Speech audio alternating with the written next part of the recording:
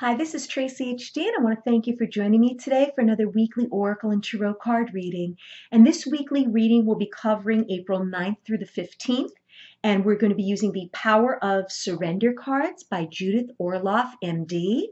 Uh, this is a very beautiful, gentle energy type of deck of cards.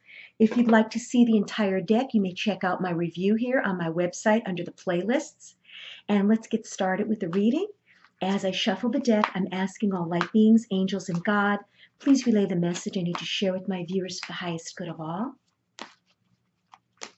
And for the beginning of the week, we have surrender to trust. And the middle of the week, we have surrender denial. And the end of the week, we're going to take the bottom card, surrender procrastination. Okay, so surrender to trust. And we have this beautiful woman. She's kneeling by. It looks like this lakeside here. There's beautiful water and there's trees. And it says, Trust yourself in your decisions. Don't be swayed by other people's strong opinions about what to do. Take action and be confident that you have chosen the right path. So, sometimes we're not so sure about the decisions we've made. But this card is telling us to trust that you've made the right decision in whatever it is that you need to decide on at this time. No one is ever sure that they've made the right choice, but sometimes we need to make a decision in order to move on or to improve a situation. We need to take a leap of faith and believe that all is going to work out for the highest good of all. And whatever decision you've made, just trust at this point that it's going to be the right one. And then surrender to denial. And there's this woman, and she's in this beautiful field of flowers, but she, she has a blindfold on. Okay?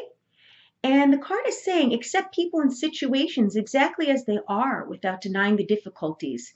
Then you can see things clearly and make the best decisions. So, yeah, it sounds to me like we're making a decision about a person in our life. Okay? And we no longer need to be blindfolded. We have to look at this person and this situation for the reality that it is. Okay?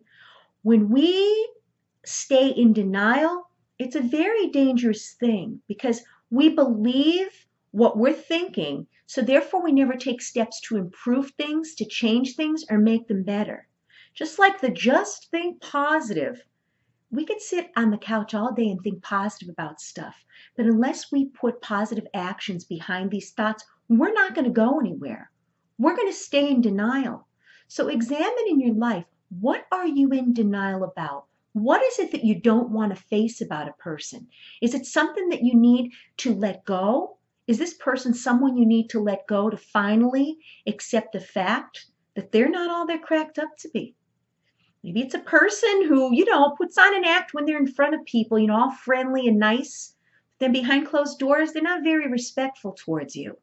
And you keep hoping this person is going to change, but have they? Um, this woman here, you know, with the, the, the blindfold on, it seems like maybe we were blinded by something. Maybe we thought someone was something that they were not a lot of people put on an act and sometimes we never really get to know what the true person is but this here is telling you is accept people and situations as they are okay without denying the difficulties. And when we see people for what they truly are okay we can make a decision whether we want to continue or we don't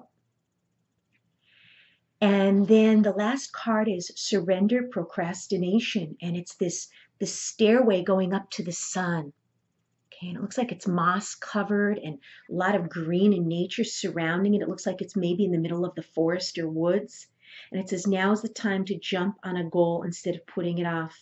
Taking action will attract success. So this is literally the green light. Okay, color green, the green light.